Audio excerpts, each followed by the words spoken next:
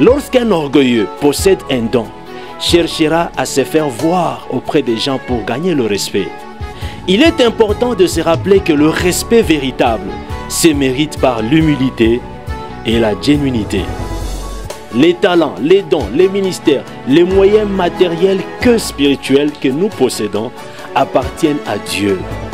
Nous ne sommes que les gérants de ces derniers.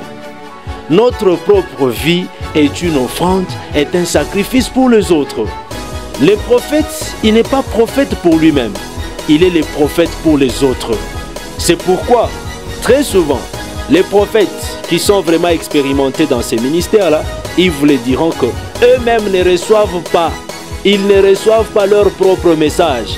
Ils ne reçoivent pas leur message pour leur famille, mais ils reçoivent souvent le message des autres.